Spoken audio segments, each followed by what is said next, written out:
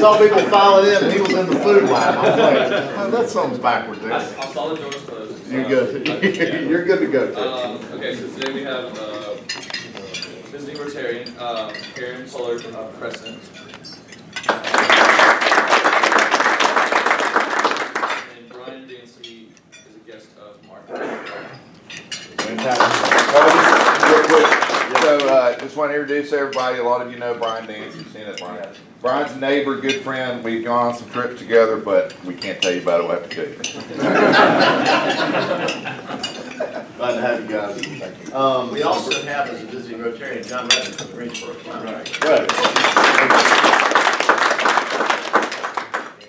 Dale? First start, talking with mouthful of food.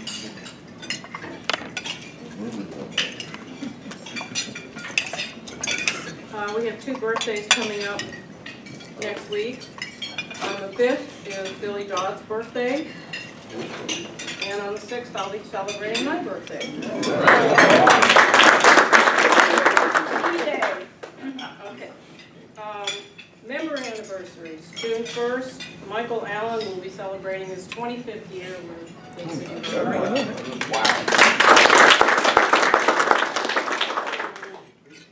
And um, Mr. Hunt is going to be celebrating on June 2nd his third anniversary.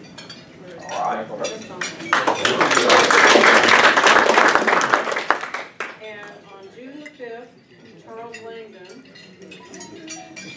uh, will be celebrating 22 years Gate City Rotary. We have two wedding anniversaries this week. Um, Patty and Richard Martin on the 31st will be celebrating an anniversary. Is he here? Yes, Good. How many years? forty-nine. Oh,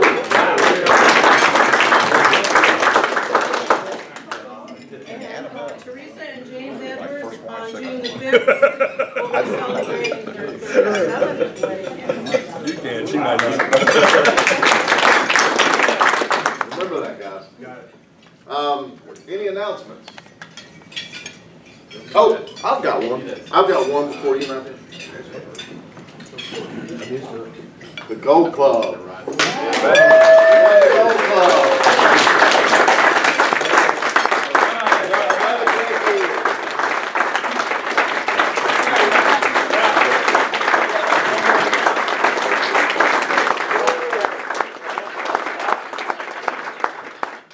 Proud to report, uh, that's twenty years in a row, guys. No, pre- no pressure's off. No pressure's There's only three clubs that have done it all. Three clubs in our district this time. Three clubs, Summit, us, and Kernersville. That's it. Good deal. No problem. It's, it's all the club that did it. It truly is. I mean, the support you guys have provided this year has been off the hook. Good to. Nobody ever doubted you, Ralph. Oh, I know. Except for seventy, except for seventy-four people in this room. Um, But congratulations to you guys. And also, uh, also honor, I'm gonna pass out to Mr. Steve Scott is our attendance, best attendance in the district. Alright.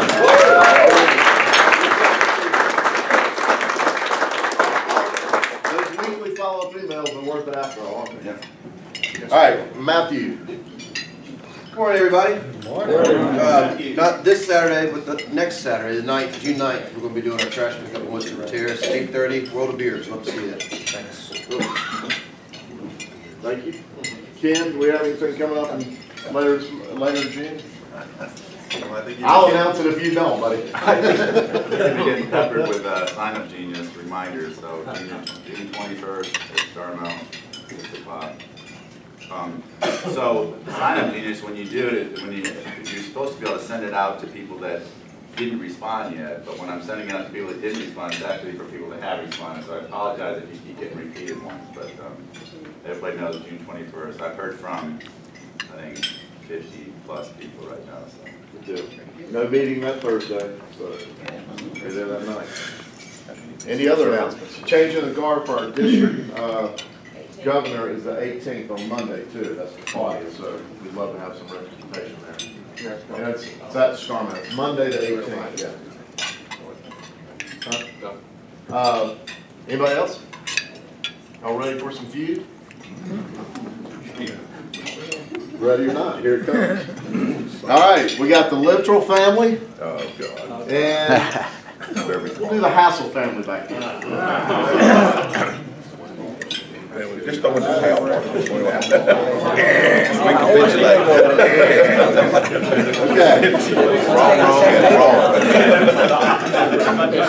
There, there's the question.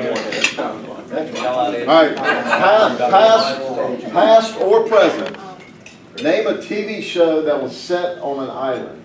Past or present, there's five possible answers. Gilligan's Island. Let, oh, so I guess we're playing. We're playing. Oh, we're playing. Number one, Gilligan's Island. Uh, Brian, you. Brian, what's an island, what's a? Didn't think you'd have to think this early. Fantasy, Yes, we'll, we'll, fantasy we'll let 'em island. have it. Let's go in order. You're talking about Fantasy Island? That's it, Um, Fantasy Y five O. I'm making them easier for you guys. Y'all took all I in. got nothing. How many answers are There's five answers. Y'all got Gilligan's Island, Fantasy Island, and Hawaii five O. Baywatch, went on an island. Baywatch. Thank you, Clark. That's a good guess. I mean, I like to think of Baywatch. Uh, Guadalcanal. Guadalcanal, good guess. And, all right, one more. As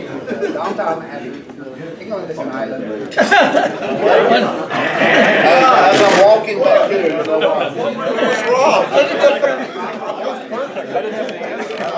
Anti-Anglican attitude. Past or present?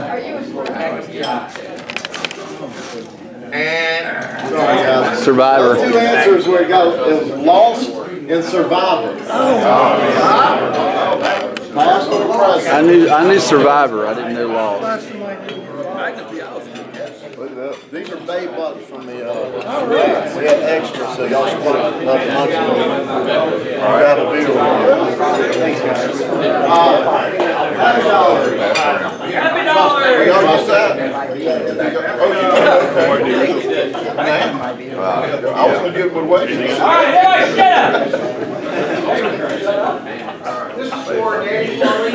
I've got a couple of high bees, and I need to go in and take some honey off, and he was a tremendous help. I've never seen so many bees in my life. They were, I thought they were a little hostile initially, but they weren't, and he was a big help. It was a freebie. Yeah. Saving. Oh, sure, come on, people, come on. As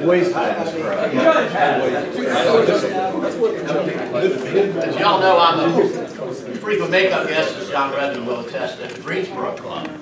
And uh, we just won the award for our best attendance in the district.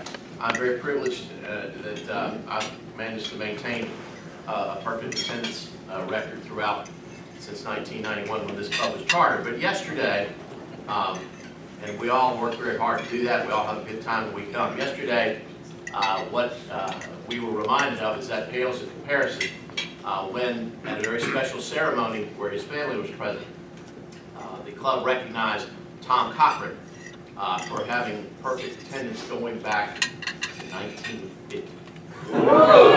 68 years of perfect attendance, week in, week. Get a life. at the he is 97, John? Uh, They will get forth, uh, refer to their attendance award as the Tom Cochran Award. Very well for a non-member of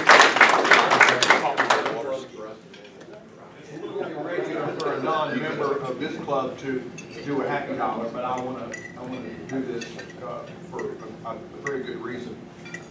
I, I think it's a very good reason. I've been a Rotarian for longer than a lot of you have been alive, for almost forty years.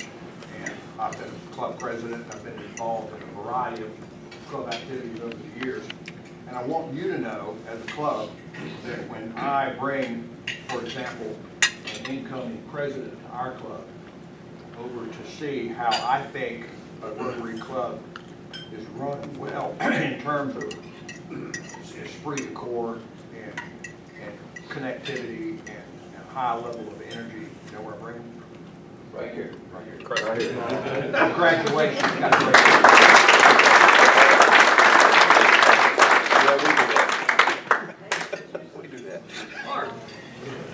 Um, I got a couple of, I got a couple of happy dollars. I got, I got a good news and a not so good news. So, uh, the first one is just something we were talking about at five oh five last night. I, I told Chip I'd stand up. Uh, in honor of Memorial Day, I don't know if anybody want to join me in, uh, a dollar for, for, uh, for those who gave the ultimate sacrifice. Thanks to them. How do you say no to that? I know, they say no to that, that's just collecting. And then the other one is just a thought, so this is, I had the benefit or the opportunity this year to attend, my wife and I did, had the opportunity to attend the, uh, the Kentucky Oaks and Kentucky Derby. So we had two fantastic days, absolutely beautiful event, other than the fact that it rained three inches. Um, But the pageantry, everything is definitely a bucket list item we were able to take off. And I just want you to know that I did place a bet on the sixth horse to, on the number six, on the number eight horse to win the race for five dollars. And we didn't win, so. I'll take that. But I'll give you another dollar and, and the ticket. All right. Huh? Jim Kennedy. It was a twenty. Here's, here's a happy dollar for, uh, for those who, uh, fought for our freedom.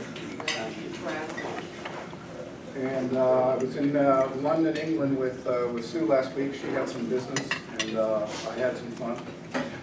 Um, and I, uh, I had a goal of hitting as many old historic pubs as I could, and there's dozens. And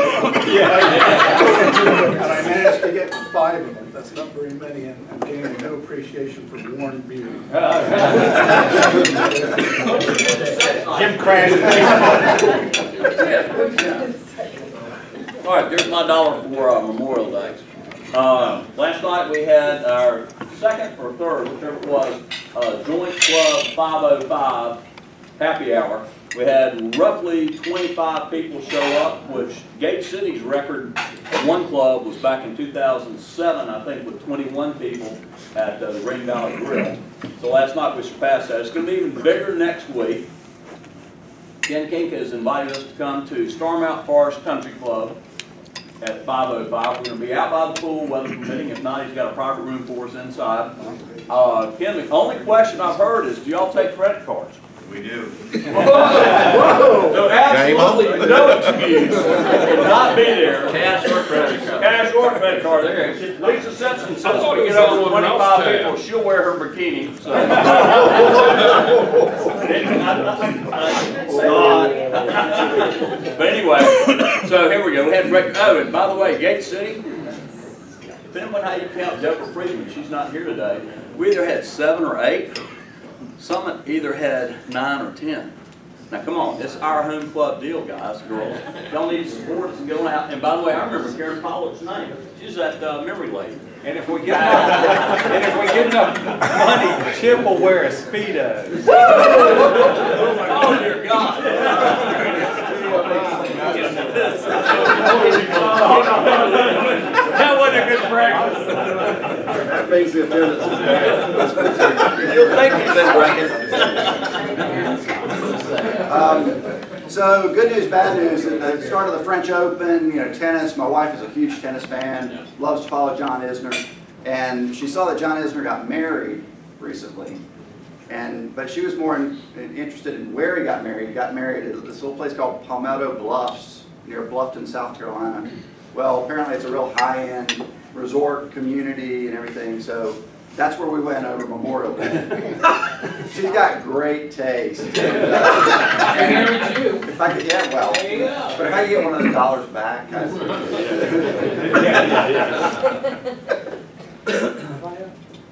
Well, you know, as y'all know, Grandpappy, he was always had really great bus- business wisdom.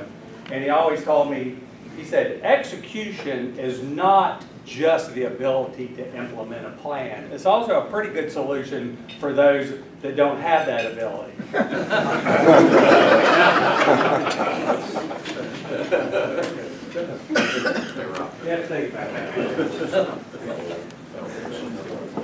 Well, President Ralph, uh, President Ralph, and you know, Ralph is interested in retiring from presidency of Rotary, and this is not going to go over well, and I don't want to surprise you with it now, but you're going to find out sooner or later. It's big. We do not have a retirement plan at Gate City Rotary. I But, never would have done it, but a number of you do have retirement plans at your uh, place of employment or for your company. And our speaker today will be talking about retirement plans and companies' fiduciary responsibilities and facts for companies and individuals, and things to know about uh, as it pertains to those plans. Susan Beard is our presenter today. She has uh, 32 years of professional experience, worked for Bank of America Trust, Wells Fargo, and Wachovia for years. She is a uh, financial, does uh, retirement plans and works with individuals and families and wealth and planning strategies. She works with companies and their law firms for working on retirement plans as well. She is active in the community, is uh, involved with the uh, Greensboro chapter of the Society for Financial uh, Planning Specialists in the Greensboro, uh, uh, blanking on it. Yeah, that thing. Help. It's a I society. know, it- I know, because I came, who is not coming prepared, Buster? The uh, Greensboro Estate Planning Council and has served as a financial advisor for Habitat for Humanity. Susan, thank you for coming and sharing with us today. Thank you. Good morning. I feel like my, my is very dry. I, I didn't realize all the, the great sense of humor and personalities here this morning. Um, We can be really dry if you want to. And I like the family feud, that gets things going and kind of got me does.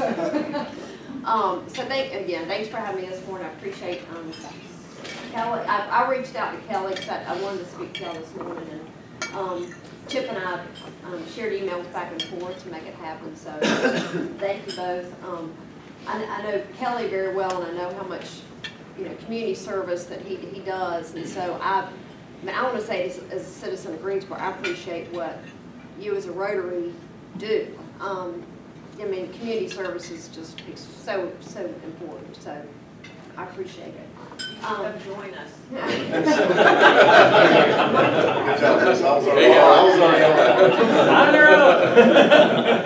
Well, I want to ask this morning, how many of you are business owners?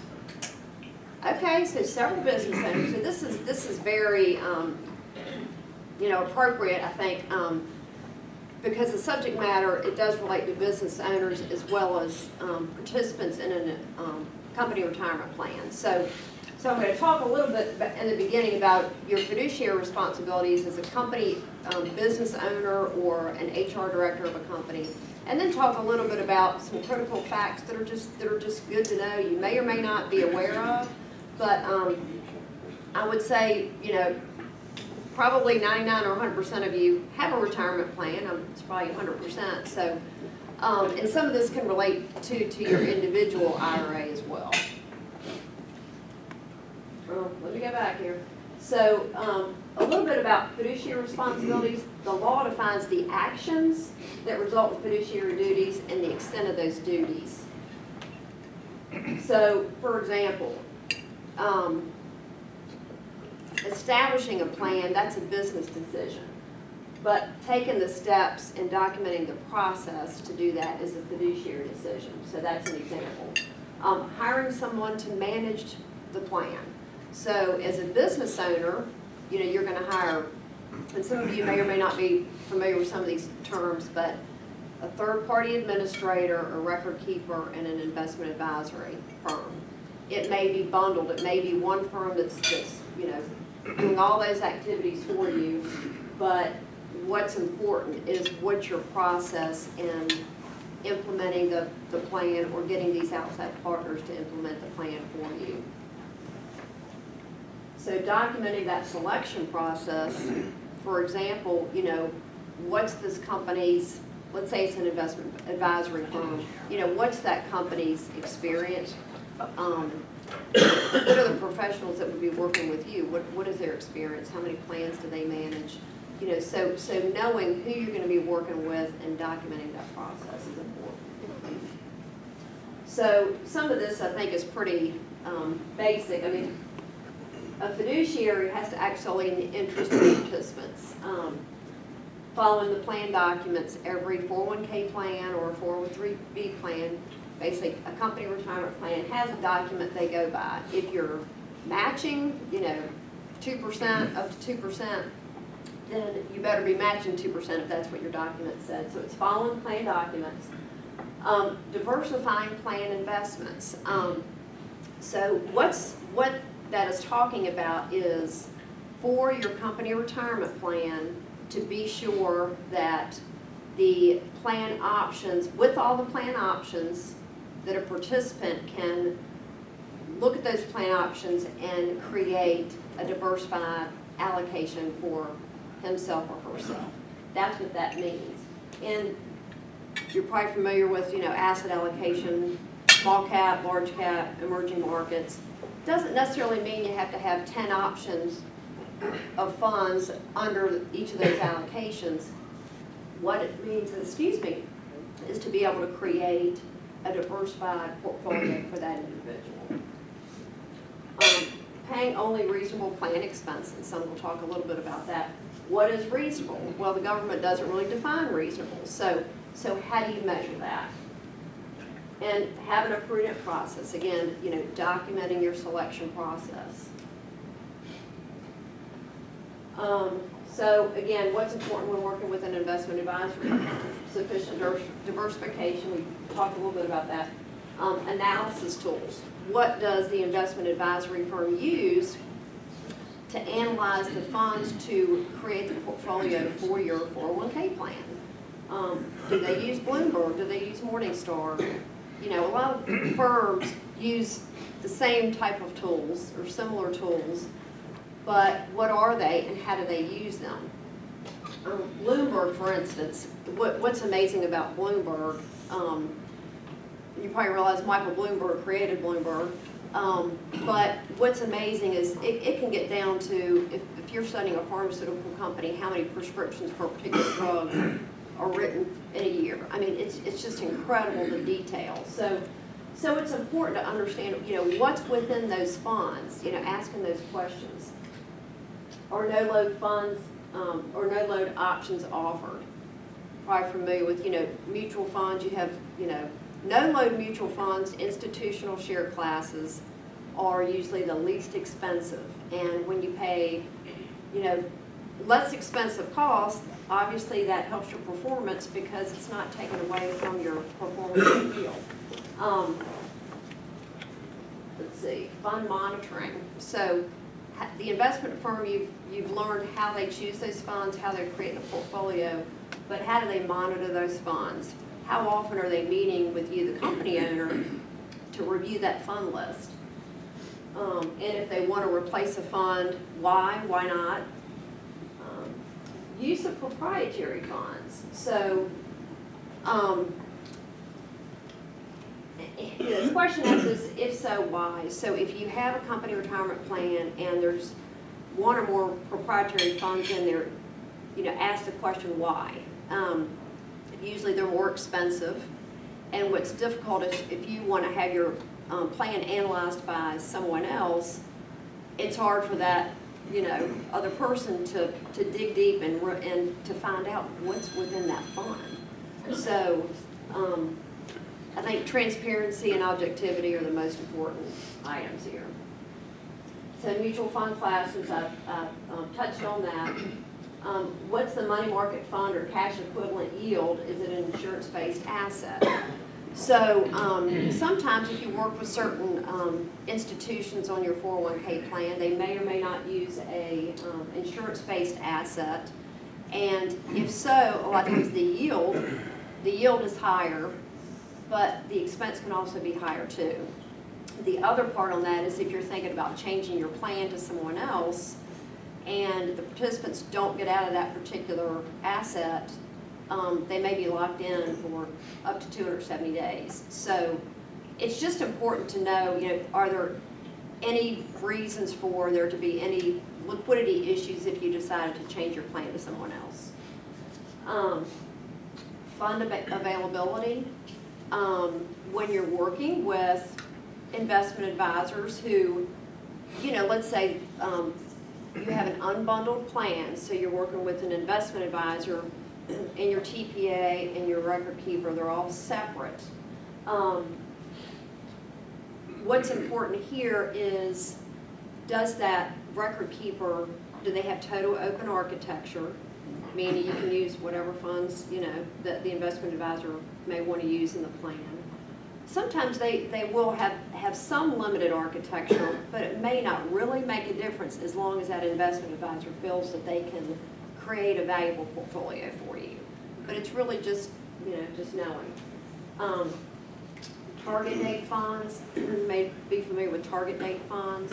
Um, they haven't been around a real long time, but, um, I think it's important to have those, especially with some larger plans, at least have that availability.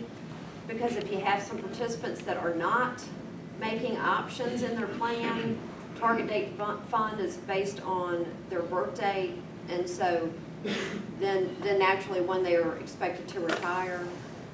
So it becomes more conservative as they retire, so if you have participants that aren't actively managing their account, then that's, it's a nice option to have that. Um, I doubt that anyone in here is, is not managing their plan, but, um, but again, I think it's, I think it's a great option.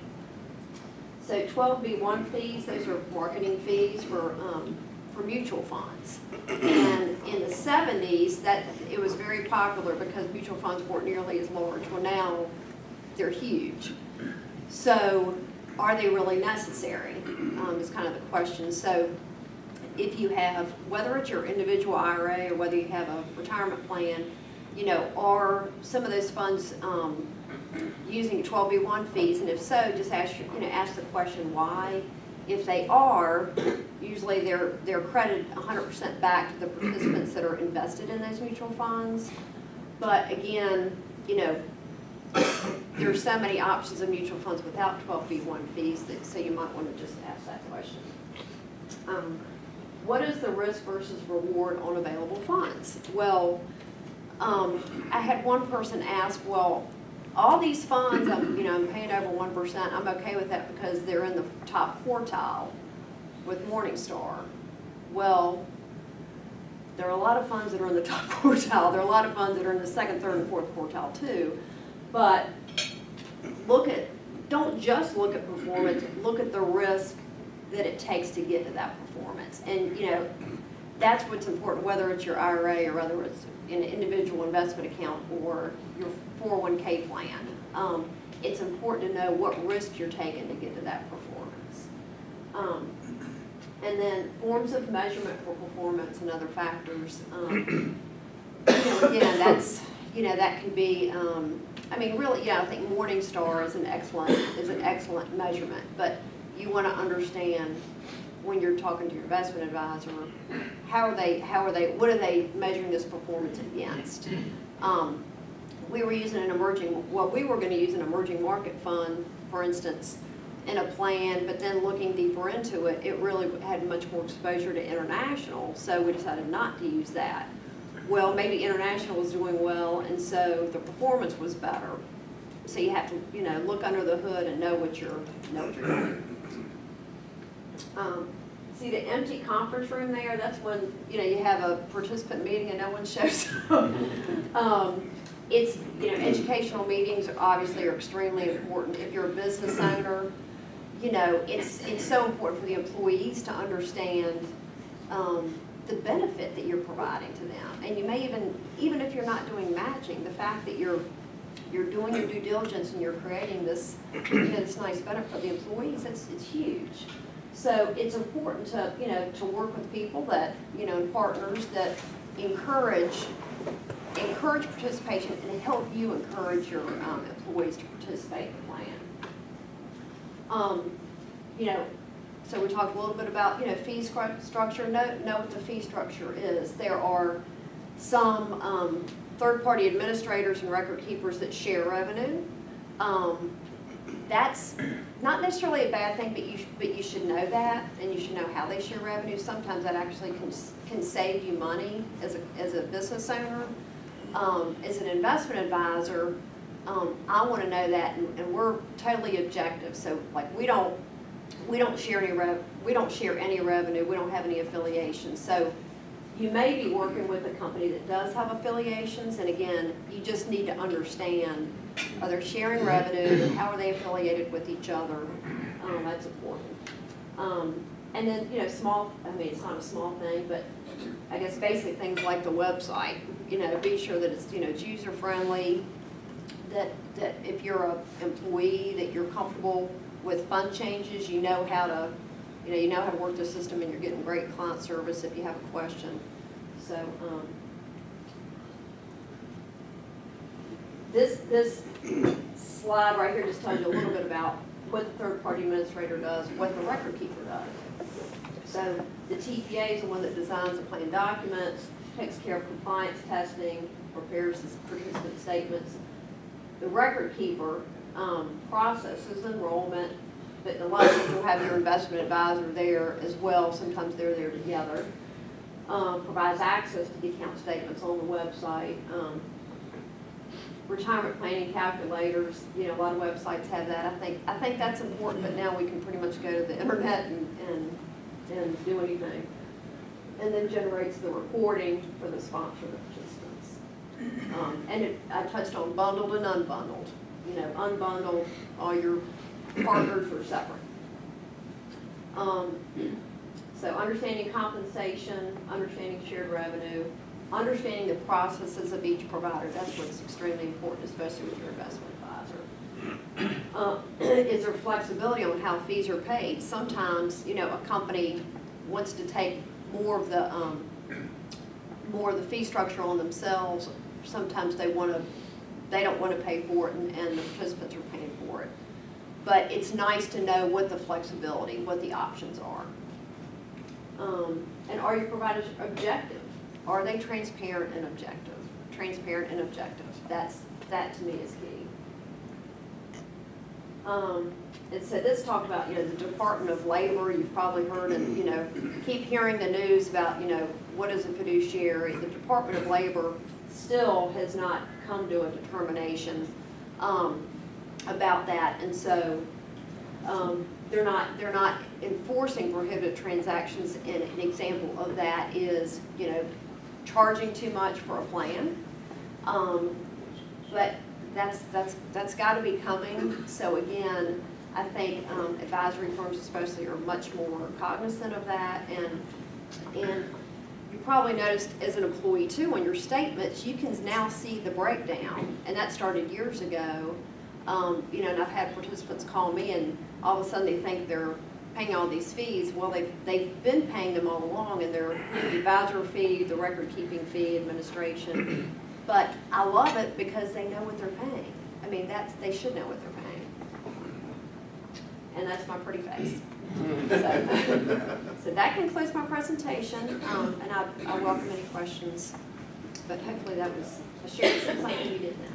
Very interesting, and just a basic question, when you're looking at, um, maybe on the internet or, or web sites for investment companies, and you see, uh, for example, a list of Vanguard funds, you see the rates of return, is there a uniform um, rule in the marketplace that says when you, uh, investment company, when you present your return to the consumer, that that is net of fees or not net of fees? Is there kind of some uniformity when you see uh, mutual fund performance? You have, to- you know, the best thing, I go to, um, Morningstar.com is, is to me the best, one of the best places to go. Sometimes you have to actually go to the prospectus. So there's no uniformity when you see No, research. no, you have to really, you have to dig deep.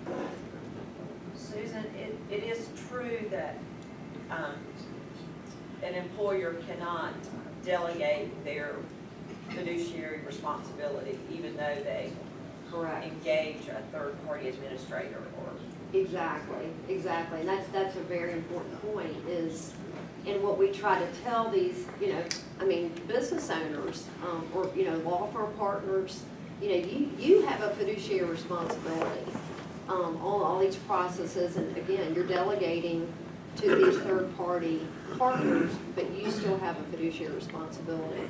Um, and there's something called a three twenty-one and three thirty-eight. Three, a three thirty-eight is when you're delegating that fiduciary responsibility to an investment advisory firm.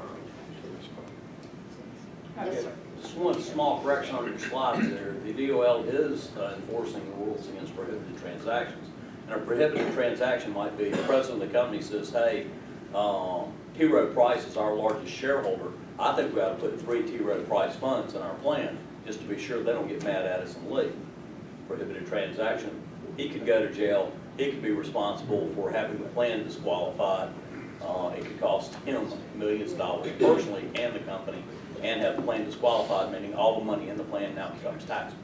So, And it, it is coming, but I, but I've, Yeah. I've read a lot about it recently. And they just won't come to a firm, Well, the DOL You know. been suspended because uh, the court threw it out down in Texas. exactly. So it's been Antonin suspended. Scalia's son was the judge Exactly. that made that decision, which I thought was pretty good. so. Yeah. So, but, but again, and I think that's a good point too, you know, talking about the fiduciary responsibility of the company owner is really to understand what's, what's in that fund.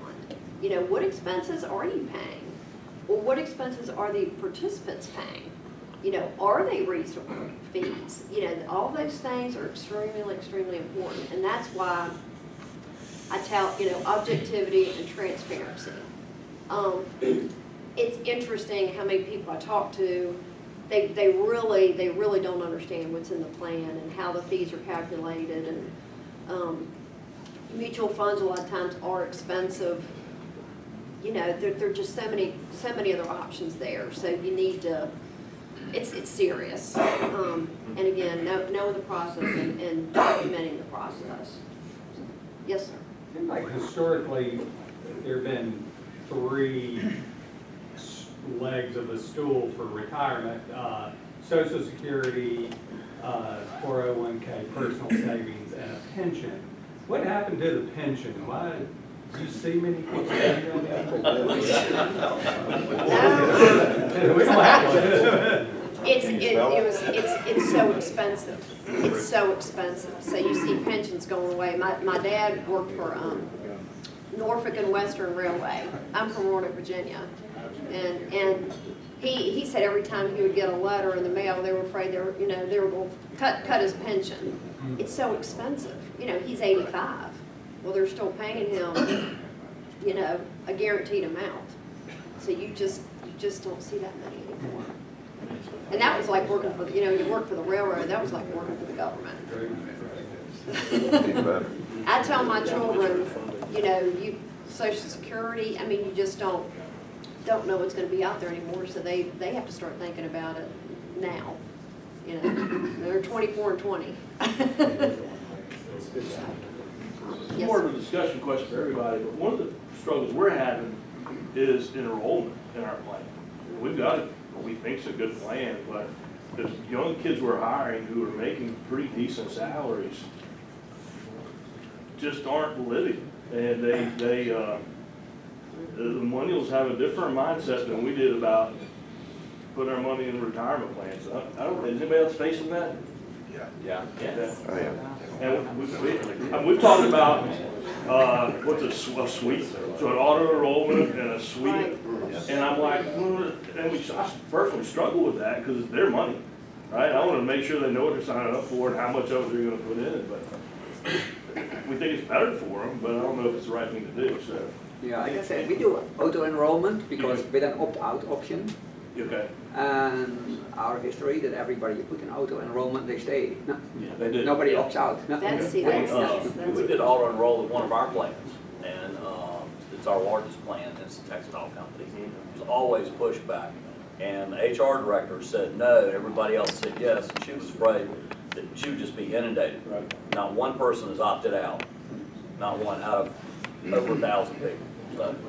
Laziness is a scam. In fact, she actually got some people thanked her for doing auto enroll because it made them do something they knew they needed to do.